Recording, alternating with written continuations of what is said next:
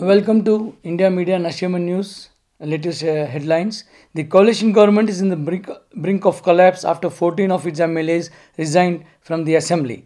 The coalition government, led by Kumar Swamy, depends on the decisions which uh, the speaker, Mr. Ramesh Kumar, is going to take.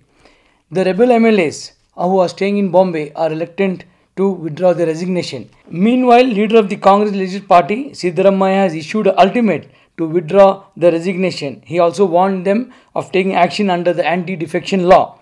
As a result, the member will be barred from contesting the election for six years.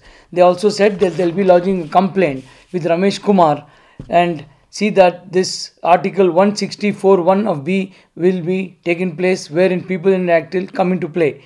Meanwhile, Speaker Ramesh Kumar has said that he won't be accepting the resignation of all the MLAs as he has to personally meet them. He also said that the resignation letters are not in order except for five of them. Meanwhile, all the 14 rebel MLAs who are stationed in Mumbai are waiting for Speaker Ramesh Kumar's decision.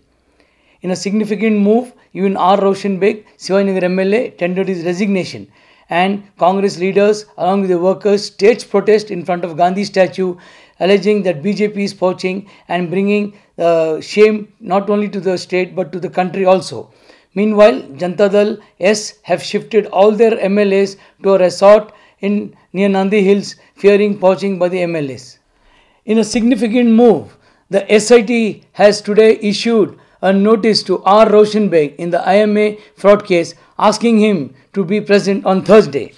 Vijay Shankar, Bangalore North DC, has been arrested for taking a bribe of 1.5 crores and for giving a clean chit to IMA. It may be recalled that Nagraj and Manjunath both were arrested earlier and they have revealed that they have given Vijay Shankar 1.5 crores to give a clean chit. Nagraj issuing notice in newspaper and after taking a bribe of 4.5 crores gave a clean chit to IMA. SIT has arrested all its directors, one BDA engineer and they have also arrested a nominated corporator and many more skeletons are going to come out. Please keep watching India Media Nashiman News with Rizwan Asad.